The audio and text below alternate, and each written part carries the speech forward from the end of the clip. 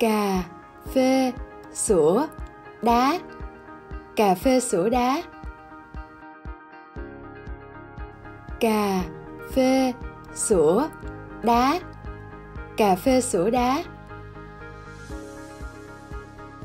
Cà phê sữa đá là đặc sản của Sài Gòn. Cà phê sữa đá là đặc sản của Sài Gòn.